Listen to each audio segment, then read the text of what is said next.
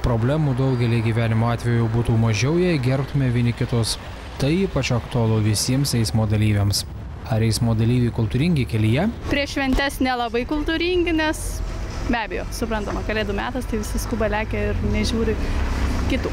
Jeigu reikia persirikiuot, neužleidžia. Nu, dažniausiai turbūt va toks. Prieš pešių perėją eina pėstysis, kuris net nepažiūrė nei kairį, nei dešinį, ar mašina važiuoja ar nevažiuoja. Nu, paprasčiausiai atsakomybės iš jo pusės saugios nebuvo. Posūkių sukant į kiemą arba į kitą juostą. Neužleidžia, kaip yra kliūtis.